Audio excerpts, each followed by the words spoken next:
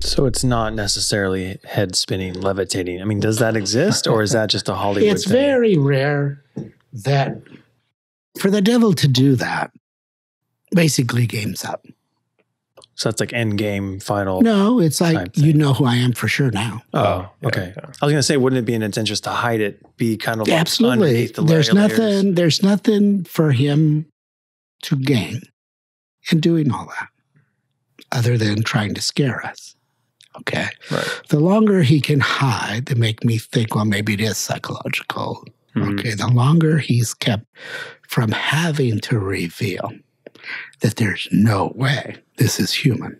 That, yeah, you're there. You're just really, really deep, Mhm. but you're there. And usually demons travel in packs. They're not lone rangers, they're like wolves.